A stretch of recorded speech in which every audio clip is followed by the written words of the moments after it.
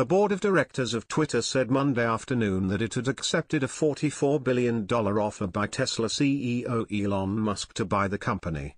Musk, who has said he wants to buy Twitter in order to restore the platform's adherence to free speech principles, will pay $54.20 per share for the company, which he has vowed to take private. I also want to make Twitter better than ever by enhancing the product with new features, making the algorithms open source to increase trust, defeating the spam bots, and authenticating all humans.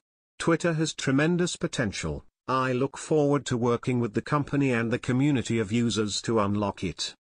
Musk's acquisition of Twitter has unnerved many of the site's more liberal users while it has energized pro-Republican voices who want the platform to reinstate former President Donald Trump.